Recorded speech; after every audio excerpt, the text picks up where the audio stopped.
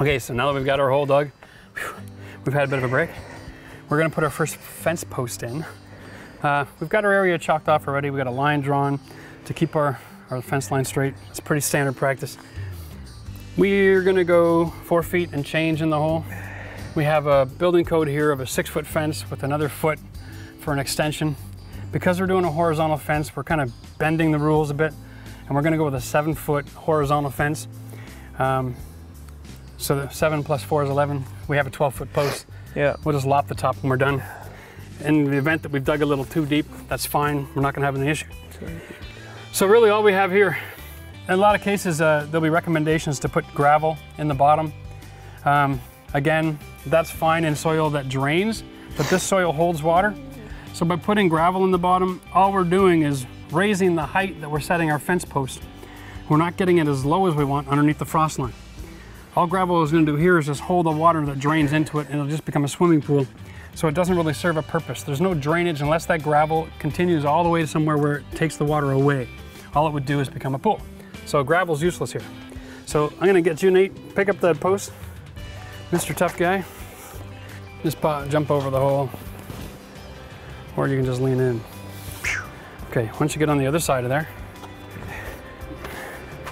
what we're gonna wanna do is, when I'm using a level, I like to use my level as long as humanly possible. So I've got a six or seven foot fence coming out of this hole. I wanna use my five or six foot level. We're gonna stick this bottom of this base up against the string and find out if when we're just touching the string, if we're level or we need to readjust. We're not level. So what I gotta do is I gotta get the bottom of that post. I need to lift it and push it a little bit away from the string. How's that? Lift it and set it the other way. And this is just a trial and error thing. There's no rocket science, just patience. Yeah. I'm touching, Yeah. not quite there. Give me a little bit more, push. Okay, let's try that. When you're drilling a hole with an auger, it's really hard to tell if you're exactly level. We're good? Am I touching? yeah. Tell me when I'm off. No. Oh, that is really close.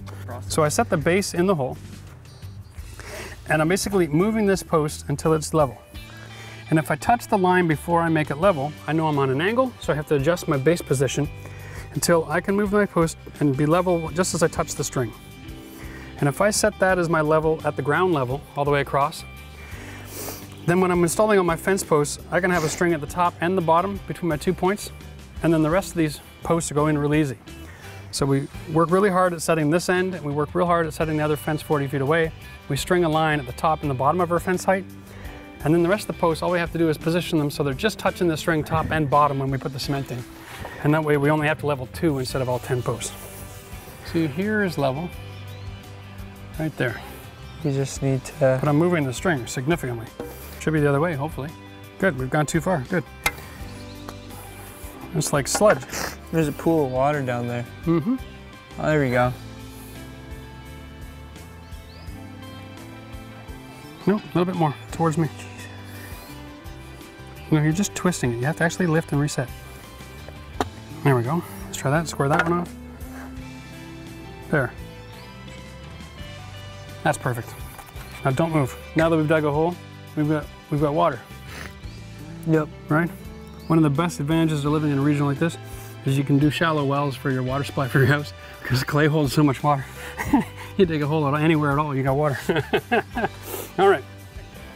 So we're going to be using uh, a rapid post concrete. It's uh, quick setting cement. There's a few different names on the market, different manufacturers. It's all the same stuff. Uh, the idea is you put that stuff right in the hole and you add water. It saturates the cement and starts to set and harden within minutes. And then within a couple hours, you can start building on your post. Um, the trick, the secret to this really is that you don't have to make your cement in a wheelbarrow. You can. You can make regular cement first, and if you set your post properly, uh, let it dry overnight, you'll be just fine. Um, I like this product just because of the convenience. Because of our clay, we're getting water pooling in the bottom of the post already. So we're fine for that. We don't have to wet the hole first. If you have a different soil condition, you might want to add some water first and then put the bag in. So real quick uh, skill testing question.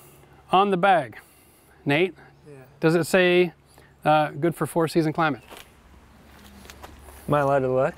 No, I told you to read that earlier. Ah, yeah. It does not say that. Oh, All it does is give an instruction that two bags per hole. Okay. And to put your hole at 48 inches, you use two bags of concrete. yeah. So here's the only case in my entire life that when it says you read the instructions and the instructions are wrong. Because that's in most soil conditions and in most climates. Yeah. That's what they call a standard installation. Okay. Because our ground freezes, we're no longer a standard installation. All right, very important to know. So we're gonna go with head and do one bag.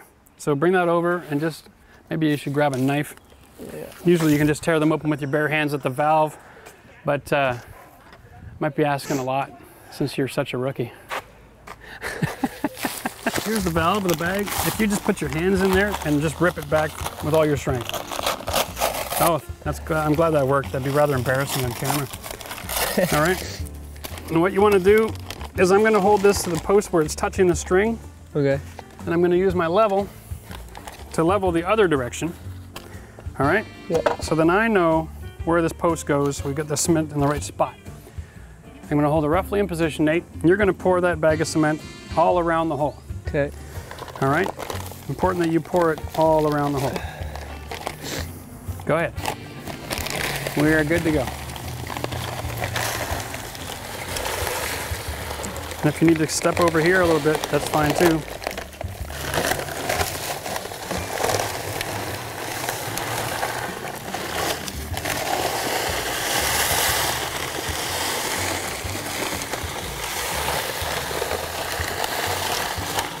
All right. That's good. Stuff's Thank you. toxic. It is toxic. Now get away from the dust. Now we're working outdoors. Usually that's good ventilation, but today there is no air movement. So try not to bend over and breathe that. The faster you do that, the better. Yeah. Okay, now you got to get the hose, buddy. Yeah, I got it. Now, how much water does a bag of that cement get in the hole? Nate, I have no idea. we told you to read the instructions. What did it say? Uh, I just read the top part. Okay, can you take a look at the bag, please? Yeah. Typical man. You got to read the instructions before you start, front to end. Understand what they're trying to communicate. Per bag, how many liters of water? 2.8 liters. 2.8 liters of water. So you have two options here, folks. You can buy a pail that has the markings on the side, measure out 2.8 liters, or you can do what we're gonna do, understanding that the city water pressure gives us about seven liters a minute. We need less than half of that, plus we got water in the hole already from the clay. So we're gonna go with, what Nate, about 20 seconds? Sure. All right, 20 seconds, full blast, give her, give her.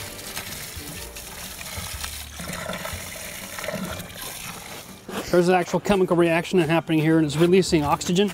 You can see it bubbling in the hole. Here, I got that. And there we go. So, to recap, we're gonna set this now right where we want it. Perfectly level, leave it alone. You don't even need to brace this.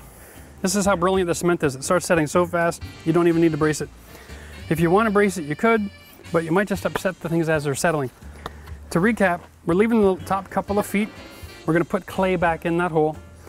We're gonna pound it down with our tamper. And that way when the ground starts to freeze, it'll actually act like a frozen lid, keeping the base from ever being pulled up out of the ground.